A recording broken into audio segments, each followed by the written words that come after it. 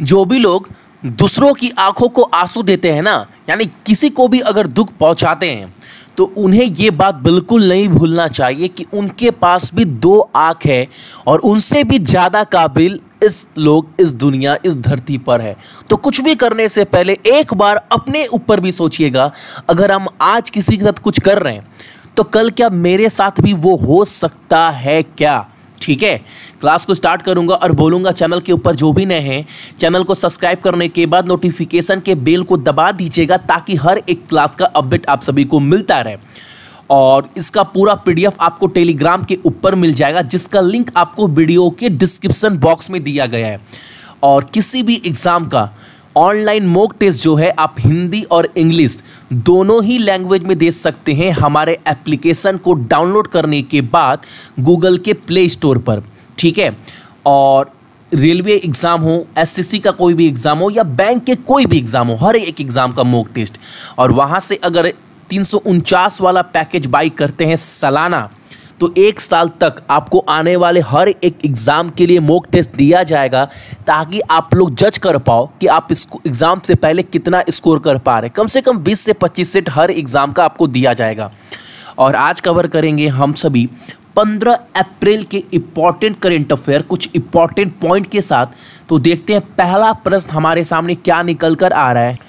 पहला प्रश्न है हजारी लाल रघुवंशी, जिनका तिरानवे वर्ष की आयु में निधन हो गया है, वह किस राजनीतिक दल से संबंधित थे, ये आपको बताना है।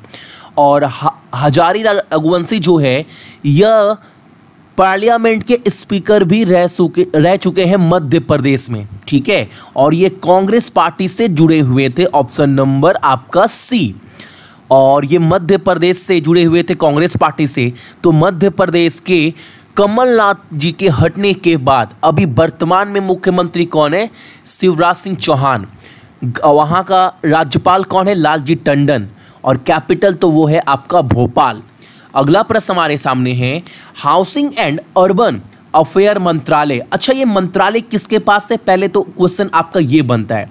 तो आप बोलेंगे, ये मंत्रालय है भैया हरदीप सिंह पुरी के पास, ठीक है, ने कोविड 19 के लिए विशेष प्रश्नों को संभालने के उद्देश्य से एक ऐप का संशोधित संस्करण जो है वो लॉन्च किया है। उसका नाम क्या है? तो उसका ऑप्शन है आपका ऑप्शन नंबर आपका बी ठीक है? अगला प्रश्न हमारे सामने है। निम्नलिखित में से किसने मैलिना ट्रंप की अनधिकृत जीवन, जीवनी लिखी है, ठीक है, ये बताना है। और उसका शीर्षक, नाम क्या दिया गया है उनकी जीवनी का? तो वो दिया गया the art of her deal ये नाम है, ठीक है बायोग्राफी किसका? तो नाम याद रखिएगा, मेलिना ट्रंप का। एग्ज़ाम में ये भी पूछ देगा कि मेलिना ट्रंप का जो बायोग्राफी अभी लॉन्च किया गया, उसका नाम क्या था? तो आप सभी क्या बोलेंगे? The art of her deal. और ये किसके द्वारा लिखा गया है? तो यह लिखा गया है आपका मैरी जॉर्डन के द्वारा। ऑप्शन नंबर आपका डी। अगला प्रश्न हमारे सामने है। भारतीय रेलवे कोच पुनर्वास कार्यशाला ने चिकित्सा पेशवरों और डॉक्टर की सुरक्षा सुनिश्चित करने के लिए, शून्य संपर्क जाँच सुविधा के लिए क्या नामक एक मोबाइल डॉक्टर बूथ विकसित किया है? अब ये क्वेश्चन को थोड़ा मैं समझाऊँगा। पहले आंसर देख लो। आंसर क्या है? इसका आपका चरक। इसके अंडर क्या है? देखो, जितने भी डॉक्टर हैं, उनका पूरा तो पूरा ख्याल आपको रखा ही जाएगा। प्लस अगर मान लो आप किसी डॉक्टर से नहीं मिल सकते तो इस जो आपका एप्लीकेशन बनाया गया बूथ बना बूथ बनाया गया, इसके सहायता से क्या है, आप डॉक्टर से संपर्क कर सकते हैं। और बिना डॉक्टर से मिले आपको डॉक्टर हर एक सलाह दे सकते हैं, जो कोविड नाइन्टीन से आपको बचा सकता है। क्वेश्चन क्लियर ना? अगला प्रश्न हमारे सामने है। इफको टोक्यो जनरल इंश्योरेंस के प्रबंध निदेशक, यानी मैनेजिंग डायरेक्टर और सीईओ के रूप में किसे नियुक्त किया गया है, उनका नाम बताना है। और उनका नाम है option number D, Anamika Roy. ठीक है? अगला प्रश्न हमारे सामने है, केंद्र सरकार आज का सबसे इंपॉर्टेंट प्रश्न। हालाँकि सारे क्वेश्चन बहुत इंपॉर्टेंट है। मैं जो भी क्वेश्चन क्लास करवाता हूँ सुबह में साढ़े चार बजे, ज़्यादातर क्वेश्चन वो लाता हूँ जो आपके एग्ज़ाम में बन सकता है। केंद्र सरकार ने कोविड 19 आपातकालीन प्रतिक्रिया और राज्यों के लिए स्वास्थ्य प्रणाली की तैयारी पैकेज के लिए कितनी राशि को मंजूरी दी है? यानी हर राज्य को कितने करोड़ रुपए दिए जाएँगे राहत पैकेज के मद्देनजर ताकि हर एक राज्य कोविड 19 से जो है वो उभर सके? तो एक डाटा रखा गया है, वो कितना रेडी किया गया है पैकेज? पंद्रह हज़ार करोड़ रुपए का केंद्र सरकार के द्वारा जो हर एक राज्य को दिया जाएगा। ठीक है, लेकिन एक बार में नहीं दिया जाएगा। सरकार का कहना है, केंद्र सरकार का, कि 2020 से 2024 तक, यानी चार साल में ये पैकेज पूरा जो है, वो दिया जाएगा हर एक राज्य को। लेकिन याद रखिए, कितना कितने का पैकेज बनाया गया है तो वो पैकेज है आपका पंद्रह हज़ार करोड़ का। ठीक है, बहुत इंपॉर्टेंट क्वेश्चन है। अब डाटा याद रखना, कितने रुपए का पैकेज जो है, वो तैयार किया गया है केंद्र सरकार सेंट्रल गवर्नमेंट के द्वारा। अगला प्रश्न हमारे सामने एशियाई विकास बैंक ने भारत को समर्थन पैकेज में कितने बिलियन होगा? यहाँ पर बिल नहीं, बिलियन होगा। बिलियन की राशि का आश्वासन दिया है। तो 2.2 दशमलव बिलियन का, यानी 2.2 बिलियन डॉलर का। क्या लिखेंगे यहाँ पर बगल में? डॉलर। ठीक है? तो एशियाई विकास बैंक एशियन डेवलपमेंट बैंक जो है, वो भारत को कितने रुपए का सपोर्ट पैकेज देगा? तो दो दशमलव दो दो बिलियन डॉलर का। अब आज का आपका पहला प्रश्न यहीं से निकल कर आ रहा है। आप सभी को कमेंट कर कर ये बताना है एशियाई विकास बैंक के अध्यक्ष है कौन? एशियाई विकास बैंक का मुख्यालय कहाँ पर है? और एशियाई विकास बैंक का स्थापना यानी गठन कब हुआ था, वो साल बताना है। ये तीन चीज़ आपको एशियाई विकास बैंक के बारे में बताना है, यह आपका आज का पहला प्रश्न है। अगला प्रश्न हमारे सामने, किस राज्य की सरकार ने कोविड नाइन्टीन हॉट स्पॉट्स की पहचान करने के लिए एक ऑपरेशन सील्ड शुरू किया है? अब हॉट स्पॉट क्या है? देखो, जहाँ पर सबसे ज़्यादा मामले आ रहे हैं अब ये ऑपरेशन सील्ड क्या है। आप एक तरह से बोल सकते हो आज के डेट में कि पूरी तरह से सील करना। यानी लॉकडाउन से भी एक स्टेप आगे। हर एक चीज़ का पूरे निगरानी रखना। क्वारंटाइन मान लो, आइसोलेशन मान लो, या फिर पूरे अच्छी तरह से सील। लॉकडाउन से भी एक स्टेप आगे। उसी इस ऑपरेशन को नाम दिया गया है सिल्ड। और ये ऑपरेशन कौन शुरू करने जा रहा है? तो दिल्ली, ऑप्शन नंबर आपका डी। दिल्ली के सीएम कौन है? अरविंद केजरीवाल। वहाँ के उपराज्यपाल कौन है? तो आप क्या बोलेंगे? अनिल बैजाल। ठीक है?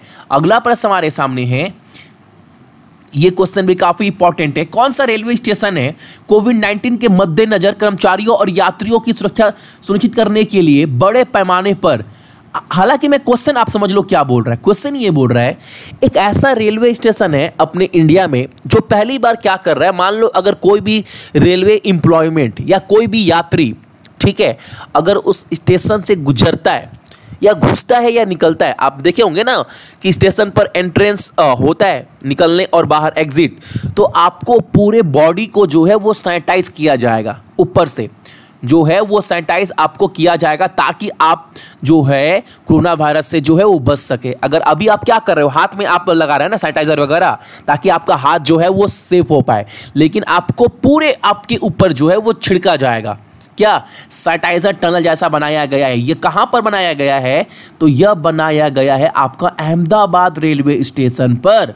ऑप्शन नंबर आपका बी। और एक बात, अहमदाबाद कहाँ पड़ता है? गुजरात में पड़ता है। तो गुजरात के सीएम कौन है? विजय रूपानी। वहाँ के राज्यपाल कौन है? आचार्य देवव्रत। और कैपिटल तो वो सभी को पता है, गांधीनगर। अगला प्रश्न हमारे सामने है। यह क्वेश्चन भी काफ़ी इंपॉर्टेंट है।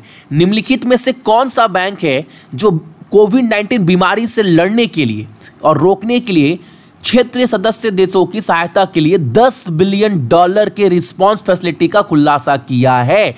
बहुत बड़ी रकम है ये वाला। तो याद रखिएगा, इतनी बड़ी रकम का जो घोषणा किया गया है, वो किया गया है अफ्रीकन डेवलपमेंट बैंक यानी अफ्रीका विकास बैंक के द्वारा ऑप्शन नंबर डी तो ये क्वेश्चन तो याद रखना, आप सभी भूलना मत, क्योंकि रकम बहुत बड़ा है। अगर मैं वहीं पर बात करूँ, विश्व बैंक के द्वारा कितना रकम जारी किया गया है तो पहले 12 मिलियन से उन्होंने रकम बढ़ा दिया है 14 बिलियन डॉलर कर दिया है। किसने? एक बार बोलो, अपने साथ मैंने क्या बोला? वर्ल्ड बैंक ने, विश्व बैंक ने। और डब्ल्यू एच ओ विश्व स्वास्थ्य संगठन ने कितना रुपए दिया है? तो 675 मिलियन डॉलर, बिलियन नहीं, मिलियन डॉलर दिया है। ठीक है? तो ये दो तीन डाटा जो है, आप याद रखिएगा कि 14 बिलियन डॉलर का सहायता पैकेज दिया गया है वर्ल्ड बैंक के द्वारा डब्ल्यूएचओ के द्वारा दिया गया है 675 मिलियन डॉलर का। और एक बात, जैक डॉर्सी जो ट्विटर के सीईओ है, उन्होंने एक बिलियन दिया है। उनका नाम याद रखना, वो भी एग्ज़ाम में क्वेश्चन बन सकता है। और 10 बिलियन डॉलर दिया गया है अफ्रीकन डेवलपमेंट बैंक के द्वारा। ये भी आपको याद रखना है, ठीक है? यहाँ पर दो तीन चीज़ मैंने आप सभी को क्लियर करवाया है। अगला प्रश्न हमारे सामने है। वरिष्ठ नागरिकों, यानी सीनियर जितने भी सीनियर सिटीजन पर्सन है, उनकी निगरानी और कोविड 19 रोग की शीघ्र पहचान करने में मदद के लिए लॉन्च किए गए एप्लीकेशन का नाम बताना है। तो आप सभी को पता है सीनियर सिटीजन जो है, उनके ऊपर सबसे ज़्यादा प्रभाव पड़ रहा है इस कोविड नाइन्टीन का। तो उनके ऊपर, उनके अंदर अगर ये बीमारी है कि नहीं है, इसकी पूरी पहचान करने के लिए तो जल्दी से पहचान हो पाए। इसके लिए एक एप्लीकेशन लॉन्च किया गया है। उस एप्लीकेशन उस एप्लीकेशन का नाम क्या है? तो उस ऐप का नाम है आपका सेफ़ सीनियर याद रखिएगा। अगला प्रश्न हमारे सामने नहीं। तो ये थे हमारे आज के इंपॉर्टेंट क्वेश्चन 15 अप्रैल का। इसका पूरा पीडीएफ आपको इस वीडियो के डिस्क्रिप्शन बॉक्स में मिल जाएगा। सो so, मेरे जितने भी भाई बहन हैं सभी को बहुत बहुत गुड मॉर्निंग आपका दिन बहुत अच्छा हो और अपने साथ साथ अपने मम्मी और पापा दोनों का ही ख्याल रखिएगा। ठीक है ना? चलिए।